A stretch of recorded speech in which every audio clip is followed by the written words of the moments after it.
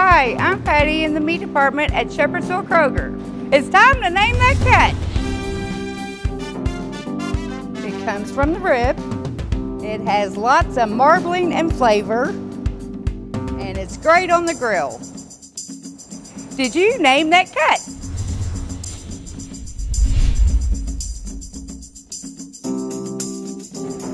Thanks, Patty. This ribeye is gonna make a great Asian beef taco. I'm Kroger Chef Paul, and I'm gonna show you how to make it. Start by making an Asian slaw. First thing we're gonna do is I've got two cups. This is a Kroger brand broccoli slaw. Next, I have one cucumber that I have peeled, deseeded, and sliced.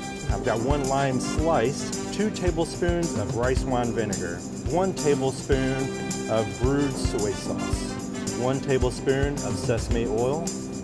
I've got a half a teaspoon of crushed red pepper and finish it off a fourth a teaspoon of kosher salt. Just give this a gentle toss. I like to season this steak with the Private Selection Togarashi grinder.